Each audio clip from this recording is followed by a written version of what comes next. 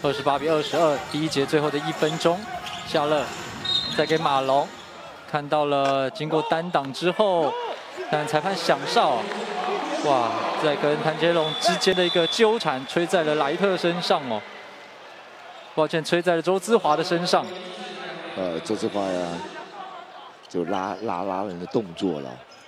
哦，我们华哥真的也就是目标比较大一点了。嗯，他过去年轻的时候是火爆浪子哦。嗯，虽然现在年纪大了，动作还是一样非常的一个大哦。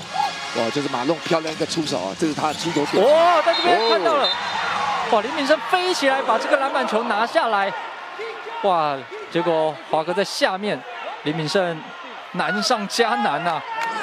我们再来看一下，这边已经冲进来哦，这个坐飞机其实是蛮危险的。没有错啊，林炳胜他是非常积极的一个球员，身体素质也非常好，没事了。年轻球员，我觉得他的态度是最重要的，我态度、精神会感染球队啊，所以希望他们中尼克隆队在今天这一个比赛当中，他们必须要因为这样子的一个过程当中，展现他们的拼劲，这是最重要的。我们看林炳胜。在无持球的状况之下，在空中抢到这个球啊！哦，但是因为前面哦这边其实下来的位置，周姿华哦这个坐飞机哦是真的蛮危险，所以裁判这边也要透过慢动作重播来认定一下刚刚这样的一个动作到底会不会构成更严重的一个犯规哦！哇，违反运动精神的犯规，U 吹出来了。因为周志华是弯腰了啊，如果他如果他身体是垂直的话，可能就不会有这样子这种合我们叫做合理的对抗。当你弯腰的时候，你就有身体的侧面跟臀部可以去影响到所谓的对方啊，林炳胜啊，就造成这样的情形哦。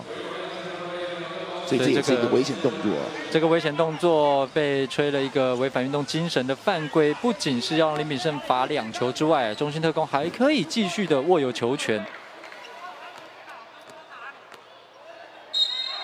哇，这边这样的一个，哇，这边周之华，哇，前面这连续两个踢吗？这是连续两个踢吗？哇，华哥出上啊！哇，华哥这个这可能会被赶出去哦。刚刚第一个抱怨的情况下，哇，华哥，所以就先被吹了一个踢之后，他又冲到了裁判前面去啊！哇，刚刚这样一个动作其实是非常非常不必要的哦。没有错啊，周志华。这裁判吹了以后，你就必须要让这个比赛进行哦，因为毕竟来讲，这就是一个比赛哦，你必须要控制自己的情绪，在球场上当中去克制好自己。哇，这样的一个吹判过程，在第一节现在还有四十四点八秒钟的时间。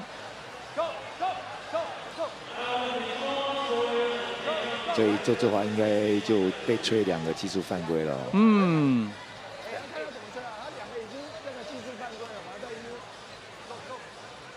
以他的嘴型啊，哦，球迷各自来判读，但是他没想到会被吹一个技术犯规，一被吹他又冲到裁判前面去哦。这个就没有必要了，因为这好像是要要 这个一个假动作，好像就是要威胁对方，这就没有必要了哈。对，因为毕竟来讲，今天裁判只是做他执法的工作，那你身为一个球员，那你就必须要在球场上。把所谓的游戏规则保持好啊，这才最重要的。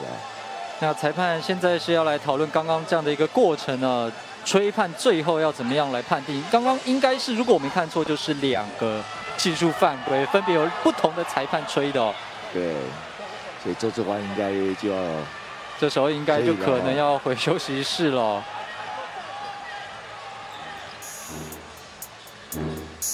哇，在第一节的比赛过程就有这样的一个戏剧性的一个过程。